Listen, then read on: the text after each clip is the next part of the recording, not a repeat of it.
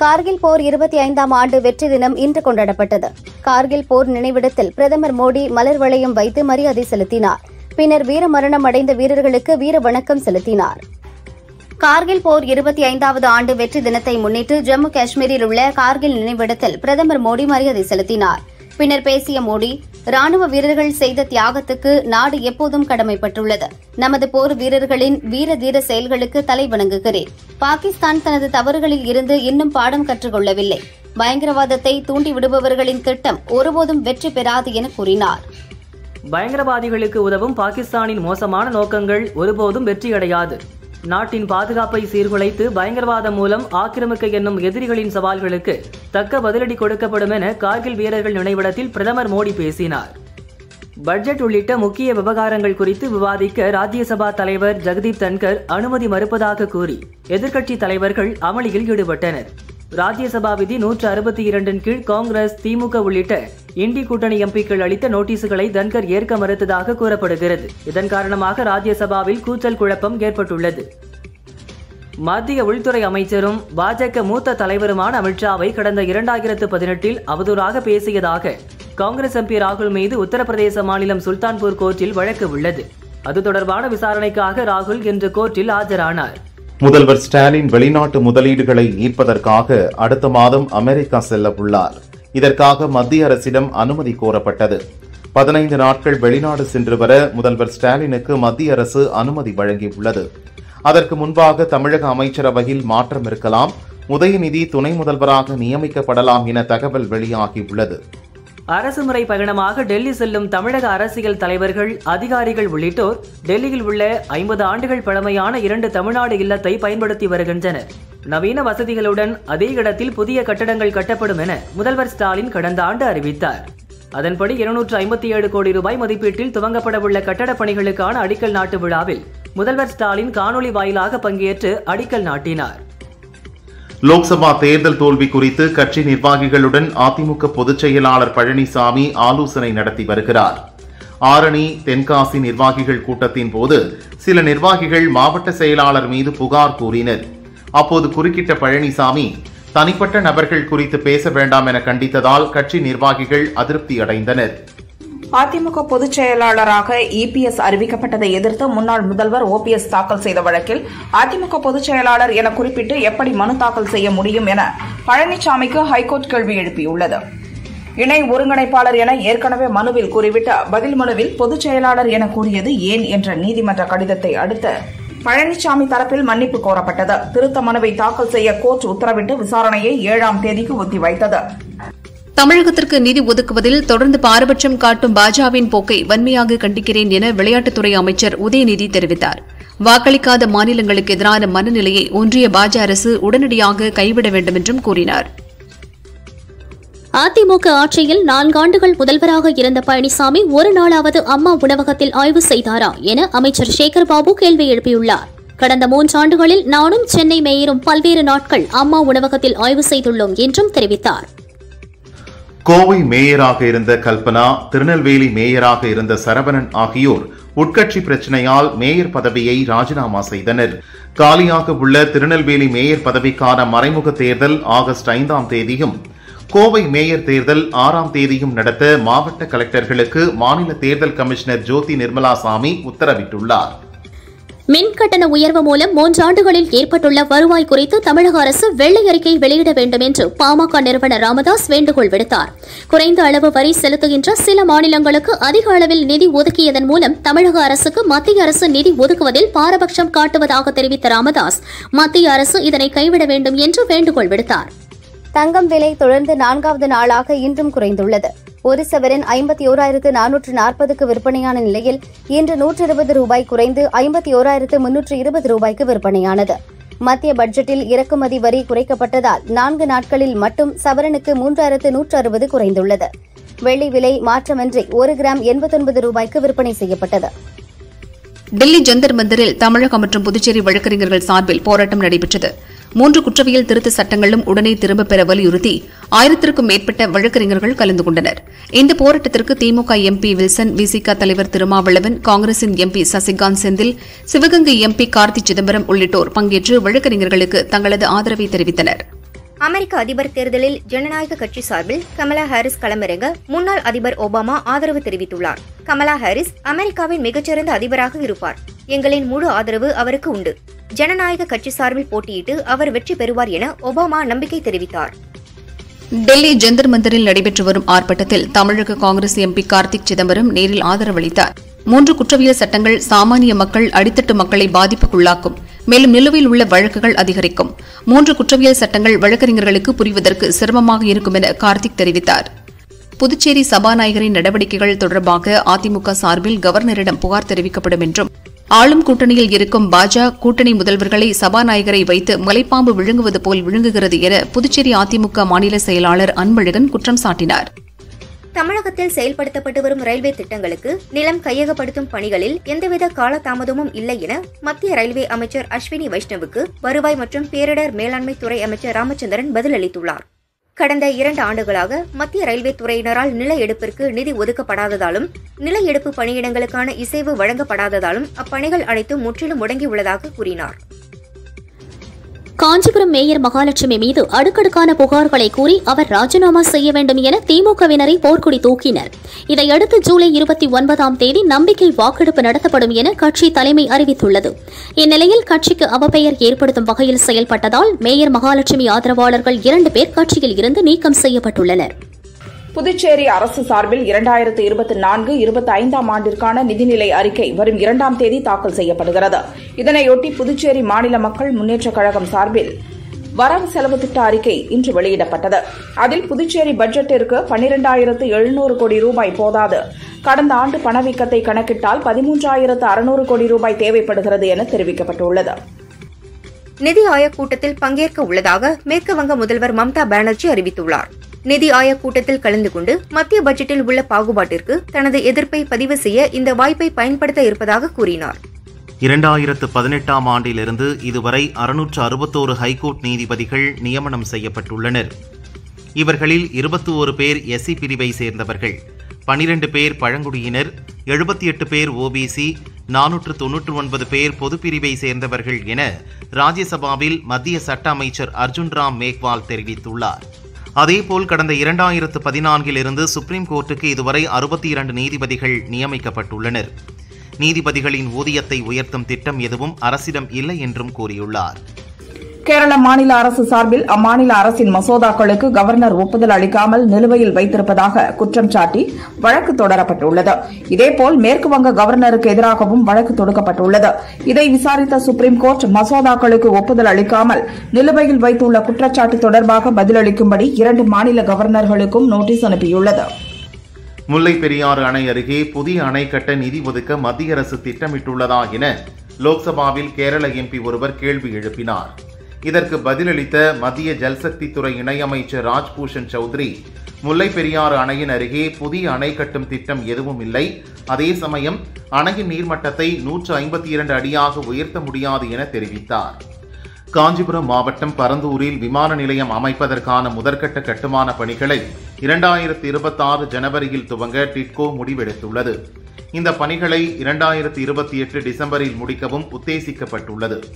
இரண்டாம் கட்டமாக இரண்டாயிரத்து முப்பத்து மூன்று ஜனவரியில் துவக்கி இரண்டாயிரத்து முப்பத்தைந்து டிசம்பரில் முடிக்கவும் மூன்றாம் கட்ட பணிகளை இரண்டாயிரத்து நாற்பத்தொன்று முதல் இரண்டாயிரத்து நாற்பத்தி இரண்டுக்குள் முடிக்கவும் இறுதிக்கட்ட பணிகளை இரண்டாயிரத்து நாற்பத்தி நான்கு இரண்டாயிரத்து நாற்பத்தாறில் முடிக்கவும் திட்டமிட்டுள்ளது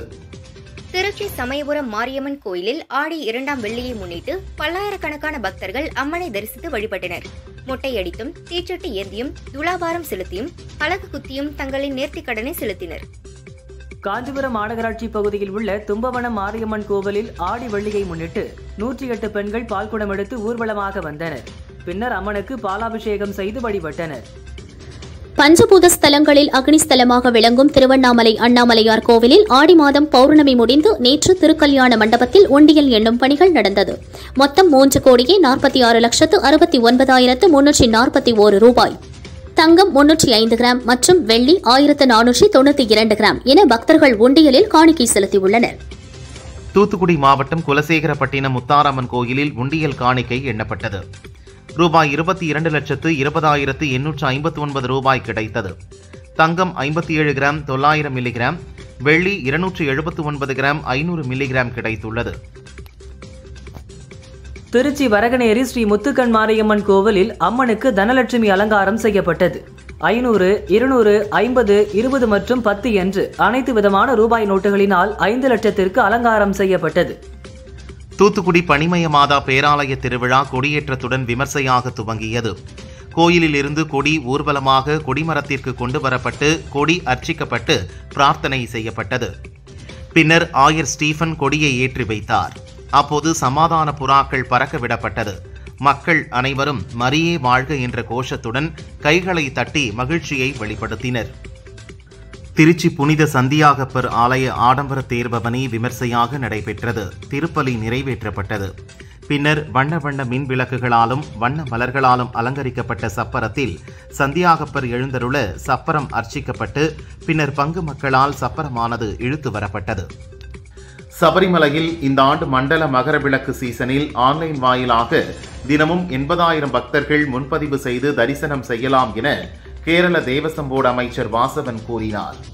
பம்பையிலும் சன்னிதானத்திலும் மழை வெயிலால் பக்தர்கள் அவதிப்படாமல் இருக்க கூரைகள் அமைக்கப்படும் பம்பையிலிருந்து சன்னிதானம் வரை கேபிள் கார் அமைக்கும் பணிகளுக்கான நடவடிக்கை துரிதப்படுத்தப்பட்டுள்ளது என்றும் தெரிவித்தார் கோயம்புத்தூர் மாநகராட்சிக்குட்பட்ட சிங்காநல்லூர் பகுதியில் செடிகளை ஒட்டிய இடத்தில் இரண்டு பாம்புகள் ஒன்றுடன் ஒன்று பின்னி பிணைந்து சண்டையிட்டுக் கொண்டன பாம்புகள் பொதுவெளியில் நடமாடுவது குறித்து பாம்புப்பிடி வீரர் மோகன் என்பவருக்கு தகவல் தரப்பட்டன தகவலின் அடிப்படையில் விரைந்து சென்ற பாம்புப்பிடி வீரர் மோகன் அங்கிருந்து பாம்புகளை பிடித்தார் அப்போது அந்த பாம்புகள் விஷமற்ற சாரை பாம்பு என்பது தெரியவந்தது தென்காசி கலெக்டர் ஆபீஸில் விவசாயிகள் குறைத்தீர் கூட்டம் கலெக்டர் கமல் கிஷோர் தலைமையில் நடைபெற்றது யானைகள் சேதப்படுத்திய தென்னை மர ஓலைகளுடன் விவசாயிகள் குறைதீர்க்கும் கூட்டத்திற்கு வந்து நிவாரணம் கேட்டனர்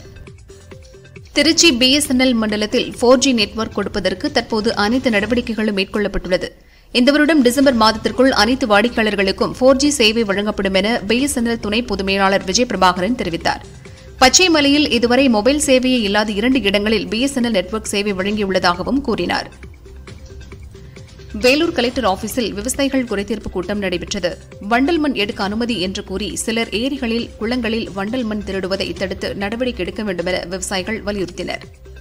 திருச்சி மாவட்டம் மணப்பாறை ஊராட்சி ஒன்றிய அலுவலக வளாகத்தில் புதர்கள் மண்டி கிடக்கிறது புதருக்குள் பாம்பு செல்வதை பார்த்த மக்கள் மணப்பாறை தீயணைப்பு துறையினருக்கு தகவல் கொடுத்தனர் தீயணைப்பு துறையினர் போராடி சுமார் ஆறடி நில கருஞ்சாறை பாம்பை பிடித்து வனப்பகுதியில் விட்டனர் சிவகங்கை யூனியன் ஆபீஸ் பெண் உதவி பொறியாளர் கிருஷ்ணகுமாரி கோவனூர் ஊராட்சி மன்ற தலைவரின் கணவர் முருகன் சாலை போட்டதற்கான பில்லை கொண்டு வந்து கொடுத்துள்ளார் அதற்கு கிருஷ்ணகுமாரி டெண்டர் வைக்காத சாலைக்கு எப்படி சாலை போட்டீர்கள் என்று கேட்டுள்ளார் இதில் வாக்குவாதம் ஏற்பட்டுள்ளது ஆபாசமாக பேசி ஊராட்சி மன்ற தலைவரின் கணவர் முருகன் எதிரில் இருந்த இரும்பு சேரை தூக்கி உதவி பெண் பொறியாளரை அடிக்க முற்பட்டார் உடனடியாக அங்கிருந்த ஊழியர்கள் வந்து பெண் பொறியாளருக்கு பாதுகாப்பு கொடுத்தனர் யூனியன் அலுவலகத்தை பூட்டி போராட்டம் செய்தனர் முருகன் என்பவரை முருகன் என்பவரை முருகன் என்பவரை முருகன் என்பவரை கைது செய்யும் வரையிலே கைது செய்யும் வரையிலே மாட்டோம் விருதுநகர் ஏஎம்எஸ் ப்ரீ பள்ளியில் வானவில் தினம் கோலாகலமாக கொண்டாடப்பட்டது பள்ளியில் வண்ண வண்ண கலரில் வானவில் போன்று தோரணங்கள் கட்டப்பட்டிருந்தது ப்ரீ கேஜி எல்கேஜி யுகேஜி மாணவர்கள் வானவில் கலரில் வண்ண வண்ண உடைகளை அணிந்து வந்திருந்தனர் வானவில் பற்றி பேசியும் பாடியும் ஆடியும் அசத்தினர் ஏற்பாடுகளை பள்ளி தலைமை ஆசிரியை ரேவதி தலைமையில் ஆசிரியைகள் செய்திருந்தனர் திருச்சி சமயபுரம் மாரியம்மன் கோயிலுக்கு முதல்வர் ஸ்டாலின் மனைவி துர்கா ஸ்டாலின் வருகை தந்தார் கோயில் நிர்வாகத்தின் சார்பில் அவருக்கு வரவேற்பு அளிக்கப்பட்டது கொடிமரத்தை தொட்டு வணங்கினார் தொடர்ந்து கோயில் பிரகாரத்தில் உள்ள விநாயகரை வழிபட்டார் பின்னர் மூலவரை வழிபட்டார்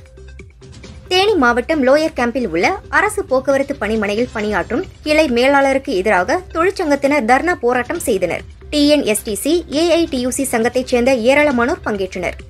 கோவை மாநகராட்சியின் சாதாரண கூட்டத்தில் வரவு செலவு கணக்குகள் உட்பட முன்னூற்று நாற்பத்தி ஆறு தீர்மானங்கள் கொண்டுவரப்பட்டன மொத்த செலவு எழுபத்தாறு லட்சத்து எழுபதாயிரத்து முன்னூற்று பதினெட்டு என்றும் உணவு டீ காஃபி மற்றும் குளிர்பானங்கள் பழங்களுக்கு மட்டும் இருபத்தி ஏழு லட்சத்து ஐம்பத்தோராயிரத்து அறுநூற்று எழுபத்தி எட்டு ரூபாய் என்றும் கணக்கு காட்டப்பட்டது இதற்கு எதிர்ப்பு தெரிவித்த அதிமுக கவுன்சிலர்கள் மாநகராட்சி கமிஷனர் சிவகுரு பிரபாகரனிடம் மனு அளித்தனா் வங்கக்கடலில் காற்றழுத்த தாழ்வு பகுதி உருவாகியுள்ளதாக உள்ளதாக சென்னை வானிலை ஆய்வு மையம் தெரிவித்துள்ளது மேற்கு வங்கத்தை ஒட்டிய வடக்கு வங்கக்கடலில் காற்றழுத்த தாழ்வு பகுதி நிலவுகிறது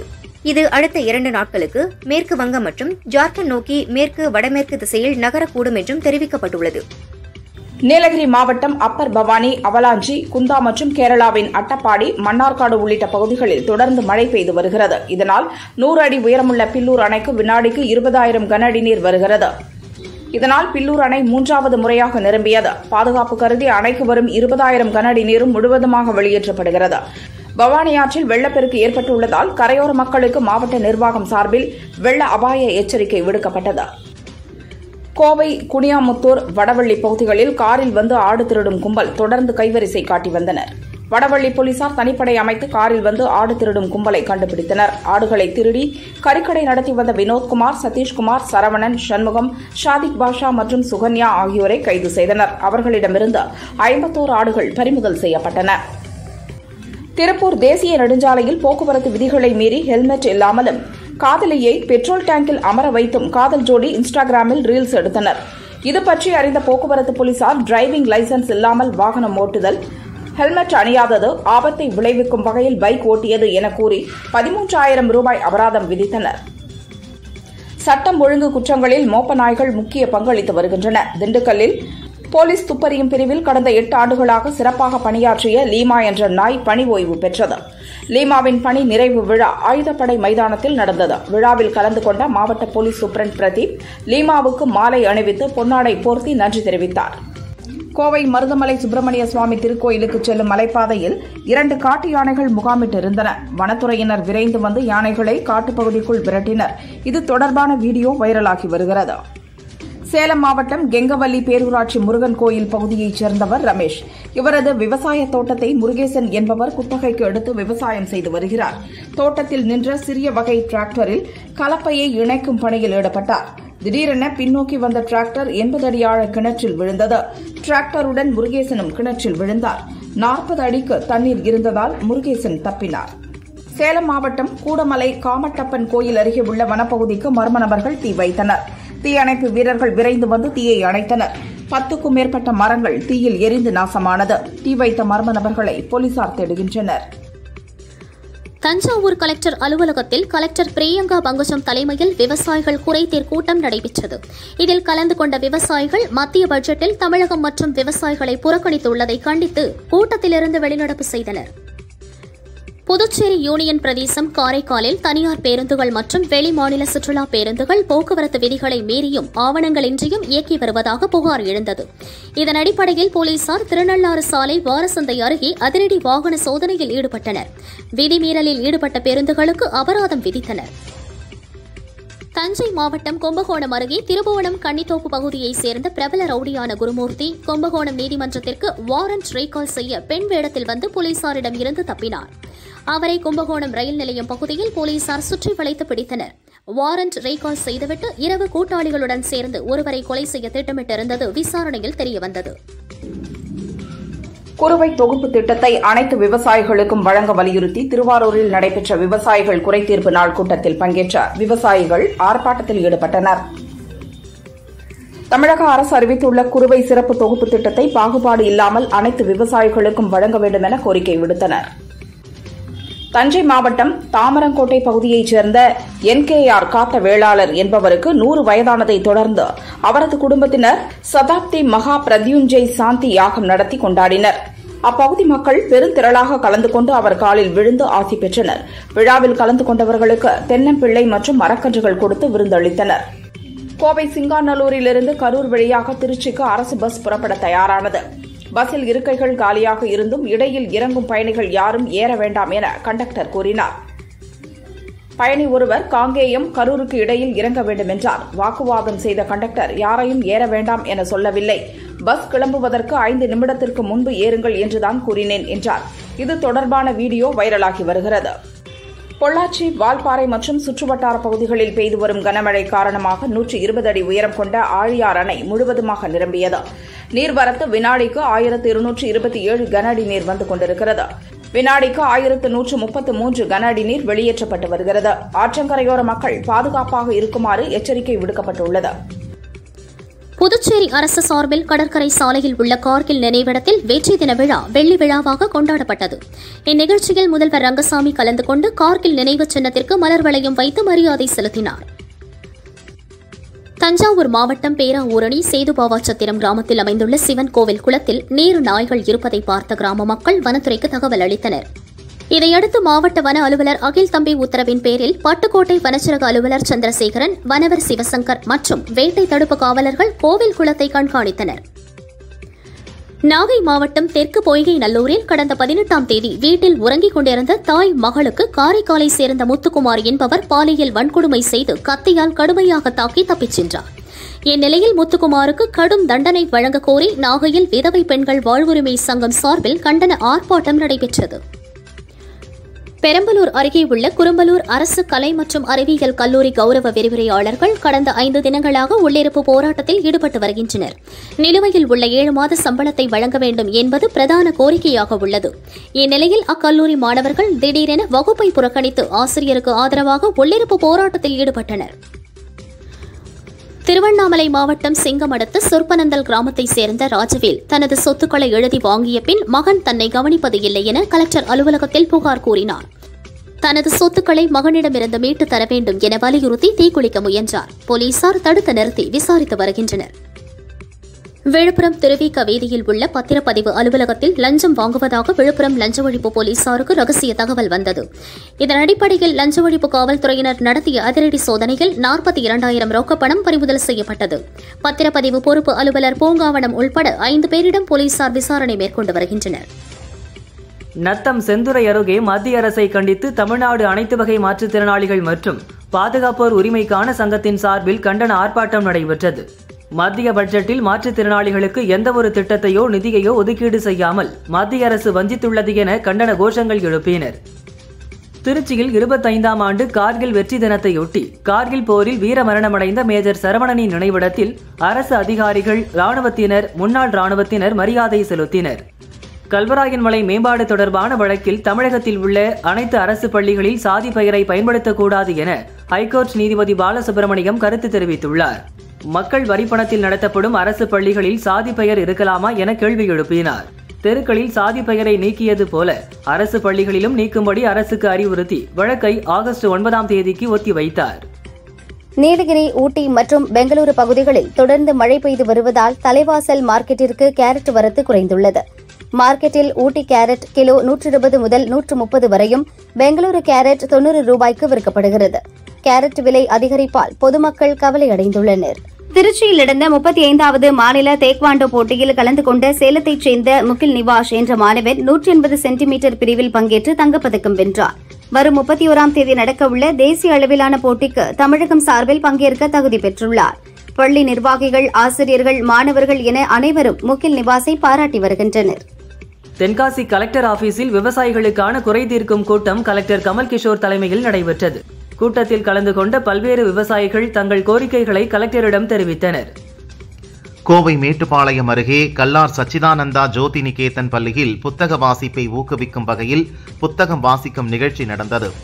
புத்தகங்கள் வாசிப்பதன் அவசியம் குறித்து மாணவர்களிடையே விழிப்புணர்வு ஏற்படுத்தப்பட்டது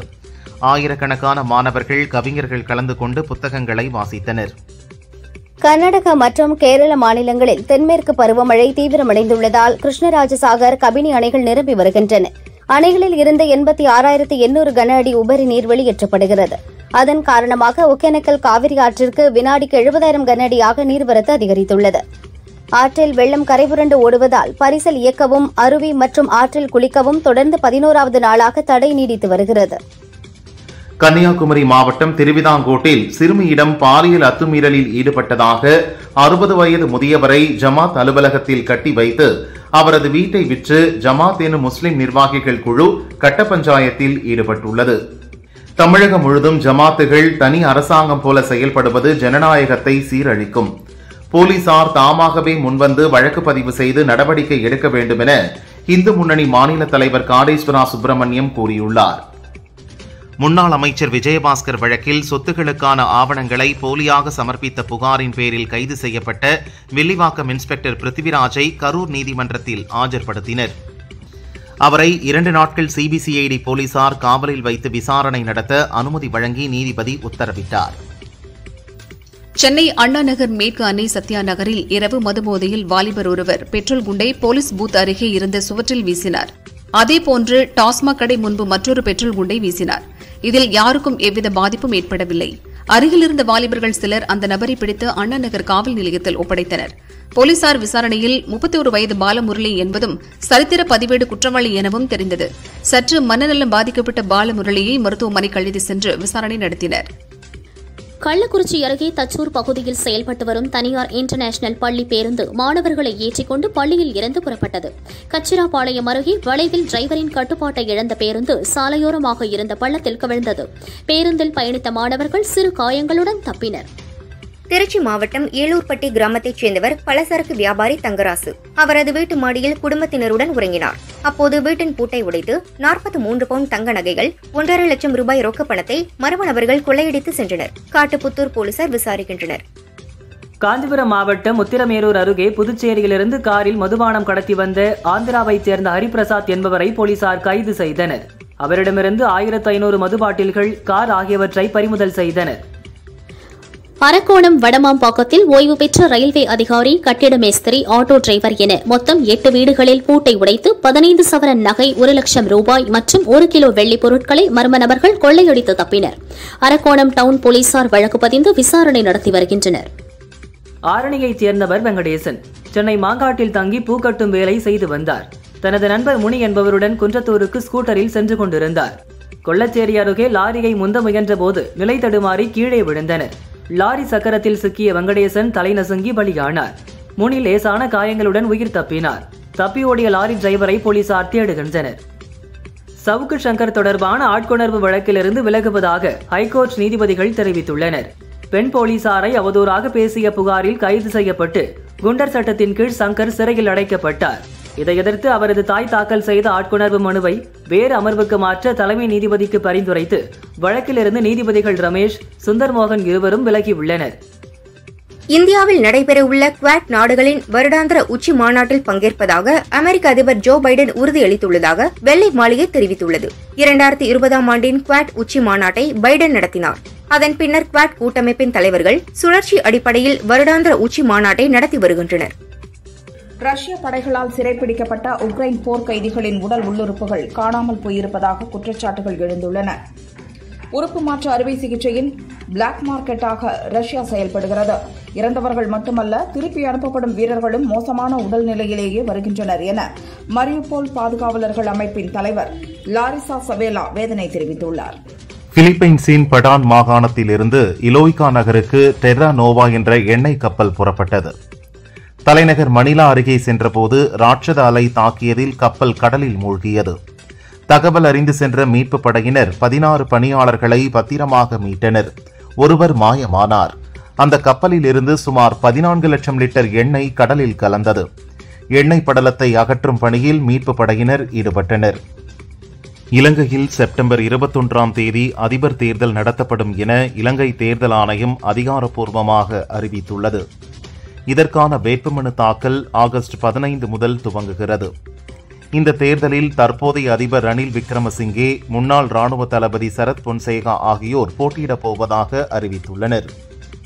இரண்டாயிரத்தி இருபத்தி நான்கு உலகக்கோப்பை வரை டி டுவெண்டி செயல்பாடுகளில் தனிப்பட்ட முறையில் எனக்கு திருப்தி இல்லை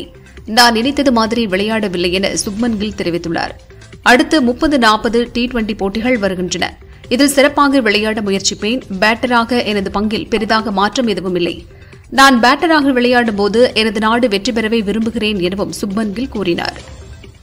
திருச்சியில் ஸ்போர்ட்ஸ் தமிழ்நாடு ரோல்பால் அசோசியேஷன் சார்பில் மாநில அளவிலான பதினோராவது சப் ஜூனியர் ரோல்பால் சாம்பியன்ஷிப் போட்டிகள் இன்று தொடங்கியது தமிழகம் முழுவதும் இருந்து முப்பது அணிகள் பங்கேற்றுள்ளன கௌதம் கம்பீருடனான தனது பந்தம் எப்போதும் சிறப்பு வாய்ந்தது என இந்திய அணியின் T twenty captain Suryakumar Yadav கூறியுள்ளார் பிசிசிஐ வெளியிட்ட வீடியோவில் பேசிய அவர் ஆர் அணிக்காக அவரது தலைமையில் விளையாடிய போது எங்களுக்கான நெருக்கம் அதிகரித்தது களத்தில் எதையாவது சாதித்தாலோ வெற்றி பெற்றாலோ அதை அங்கேயே விட்டு செல்ல வேண்டும் என கம்பீரிடமிருந்து தான் கற்றுக்கொண்டதாக சூரியகுமார் தெரிவித்தார் இந்திய கிரிக்கெட் வாரியம் எனக்கு போதுமான அளவு வாய்ப்புகள் அளிக்கிறது காயங்கள் காரணமாக சில போட்டிகளில் பங்கேற்க முடியவில்லை கிரிக்கெட்டில் அரசியல் எதுவும் நடைபெறவில்லை கிரிக்கெட் வாரியம் வீரர்களிடம் ஒரு ஏற்ற தாழ்வுகளையும் பார்ப்பதில்லை கிரிக்கெட் வாரியம் மற்றும் சக வீரர்களின் ஒத்துழைப்பால் தான் நான் இந்திய கிரிக்கெட் அணியில் வீரராக உருவாகியுள்ளேன் என கிரிக்கெட் வீரர் நடராஜன் தெரிவித்தார் திண்டுக்கல் மாவட்டம் காந்தி கிராமத்தில் உள்ள கேந்திர வித்யாலயா பள்ளியில் மாநில அளவிலான கபடி போட்டிகள் நடைபெற்றது இதில் தேன்மொழி மற்றும் தன்யா ஆகிய இரண்டு மாணவிகள் தேசிய போட்டியில் பங்கேற்க தகுதி பெற்றுள்ளனா் இரண்டாயிரத்து இருபத்தி நான்கு ஐபிஎல் தொடரின் போது ரசிகர்கள் எதிர்த்தாலும் மும்பை இந்தியன்ஸ் கேப்டன் ஹர்திக் பாண்டியாவுக்கு ஆதரவு கொடுக்கவே முயற்சித்தேன் என அந்த அணியின் வீரர் பும்ரா கூறியுள்ளார் சில நேரங்களில் உணர்ச்சி வசப்பட்டு ரசிகர்களை விமர்சிக்கும் நிலை ஏற்படுவது நம் நாட்டில் சகஜம் அப்போது வீரர்கள் ஒருவருக்கொருவர் ஆதரவாக இருந்து உதவியதாக பும்ரா நிகழ்ச்சியுடன் கூறினார் பாகிஸ்தானுக்கு வரும் இந்திய அணிக்கு சிறந்த வரவேற்பையும் விருந்தோம்பலையும் கொடுப்போம் இரு நாடுகளுக்கும் இடையே உள்ள பிரச்சனை தனியாக பேசி தீர்க்கப்பட வேண்டியது விளையாட்டில் அரசியல் விவகாரங்கள் கலந்திடக்கூடாது என பாகிஸ்தான் முன்னாள் கேப்டன் ஷோயிப் மாலிக் கூறியுள்ளார் அத்துடன் சாம்பியன்ஸ் கோப்பை விளையாட இந்திய அணி பாகிஸ்தான் வரும் என மாலிக் நம்பிக்கை தெரிவித்தார் பிரான்ஸ் தலைநகர் பாரிஸில் இன்று ஒலிம்பிக் திருவிழா கோலாகலமாக துவங்குகிறது ஆகஸ்ட் பதினொன்றாம் தேதி வரை நடக்கும் ஒலிம்பிக் போட்டியில் இருநூற்றாறு நாடுகளைச் சேர்ந்த பத்தாயிரத்து எழுநூற்று பதினான்கு வீரர்கள் வீராங்கனைகள் பங்கேற்க உள்ளனர் இந்தியாவிலிருந்து நூற்று பதினேழு வீரர்கள் பங்கேற்று பல்வேறு போட்டிகளில் விளையாடுகின்றனர் பா ரஞ்சித் இயக்கத்தில் விக்ரம் நடிப்பில் உருவாகியுள்ள திரைப்படம் தங்கலான் பார்வதி மாளவிகா மோகனன் பசுபதி ஆகியோரும் நடித்துள்ளனர் தங்கவயல் சுரங்கம் பின்னணியில் தயாராகியுள்ளது ஆகஸ்ட் பதினைந்தில் படம் வெளியாகவுள்ள நிலையில் படத்தில் வன்முறை காட்சிகள் அதிகம் இருந்ததால் சென்சாரில் யுஏ சான்று பெற்றுள்ளது ஹிந்தியில் வரவேற்பை பெற்ற அந்தாதூன் படம் தமிழில் பிரசாந்த் நடிக்க இவரது தந்தை தியாகராஜன் இயக்கத்தில் ரீமேக் ஆகியுள்ளது இந்த படத்திலிருந்து அந்தகன் அந்தம் என்ற முதல் பாடலை நடிகர் விஜய் வெளியிட்டார் இப்பட இசையமைப்பாளர் சந்தோஷ் நாராயணன் வெளியிட்ட பதிவில் இது நான் வழங்கிய இசையோ மிக்சிங்கோ அல்ல வரலாற்றில் முதல் முறையாக ஆடியோ லேபிளும் பார்வையற்ற விடுதல் நடிக்கிறது இது என் பாடலா என்பதை ஆய்வு செய்வதற்கு நான் பணம் வாங்குவதில்லை என பதிவிட்டுள்ளார் இது சர்ச்சையாகியுள்ளது நடிகர் சங்க செயலாளராக இருந்து வரும் நடிகர் விஷால் கடந்த இரண்டாயிரத்து பதினேழு பத்தொன்பது காலகட்டத்தில் தமிழ் திரைப்பட தயாரிப்பாளர்கள் சங்க தலைவராக பொறுப்பு வகித்தார் இந்த காலகட்டத்தில் சங்கத்தில் இருந்த ரூபாய் பனிரண்டு கோடி நிதியை முறைகேடாக செலவழித்ததாக அவர் மீது குற்றம் சாட்டப்பட்டது இதை திருப்பித் தரச் சொல்லி தற்போது சங்க நிர்வாகிகள் கூறியுள்ளனர் ஆனால் அவர் எந்த பதிலும் தரவில்லை இதனால் சங்கத்தில் எடுக்கப்பட்ட தீர்மானத்தின்படி இனி விஷாலை வைத்து புதிய படங்களை தயாரிக்கும் தயாரிப்பாளர்கள் மற்றும் தொழில்நுட்ப கலைஞர்கள் தமிழ் திரைப்பட தயாரிப்பாளர்கள் சங்கத்தினை கலந்து ஆலோசித்து அதன்பின் தங்களது பணிகளை துவங்க வேண்டும் என கேட்டுக் கொள்ளப்பட்டுள்ளது நடிகர் கமல்ஹாசனின் வாரிசான ஸ்ருதிஹாசன் நடிகை பாடகி இசையமைப்பாளர் என பன்முக திறமை கொண்டவர் இவர் சினிமாவிற்கு வந்து பதினைந்து ஆண்டுகள் நிறைவடைந்துள்ளது இது பற்றி பதினைந்து ஆண்டுகள் நம்பவே முடியவில்லை சினிமாவில் இருப்பதற்காக நன்றி கடன்பட்டுள்ளேன் நான் பார்த்து வளர்ந்த இந்த மாய உலகில் நடிகையாக இருப்பது எனது பாக்கியம் இத்தனை ஆண்டுகளில் நிறைய பாடங்களையும் அழகான ரசிகர்களையும் தந்தமைக்கு நன்றி ரசிகர்கள் இன்றி இந்த இடத்துக்கு நான் வந்திருக்க முடியாது அதிக அன்புடன் ஸ்ருதி என பதிவிட்டுள்ளார் தமிழ் ஹிந்தியில் நடித்து வருகிறார் மாதவன் மும்பையின் பாந்த்ரா குர்லாவில் உள்ள அபார்ட்மெண்டில் இவர் ஒரு சொகுசு வீடு வாங்கியுள்ளார் நான்காயிரத்து நூற்று எண்பத்தி இரண்டு சதுர அடி அளவு கொண்ட இந்த வீட்டில் இரண்டு பார்க்கிங் இடங்கள் உள்ளன இதன் விலை ரூபாய் பதினேழு புள்ளி ஐந்து பூஜ்ஜியம் கோடியாம் ஜூலை இருபத்தி இரண்டில் இதற்கான பதிவு நடந்துள்ளது வீட்டிற்கான ஸ்டாம்ப் டியூட்டி மற்றும் ரூபாய் ஒன்று புள்ளி பூஜ்ஜியம் ஐந்து கோடியை மாதவன் கட்டியுள்ளார் லோகேஷ் கனகராஜ் இயக்கும் கூலி படத்தில் நடித்து வருகிறார் ரஜினி இவரின் இளைய மகள் சௌந்தர்யா தனது மகன் மற்றும் அப்பா ரஜினியுடன் இருக்கும் போட்டோவை வெளியிட்டு எனது மகன் பள்ளிக்கு போக மாட்டேன் என அடம் பிடித்தான் அவரது சூப்பர் ஹீரோ தாத்தா பள்ளிக்கு அழைத்து சென்றார் எந்த கதாபாத்திரம் கொடுத்தாலும் திரையிலும் நிஜ வாழ்விலும் நீங்கள் அதை சிறப்பாக செய்கிறீர்கள் என் அப்பா என குறிப்பிட்டுள்ளார்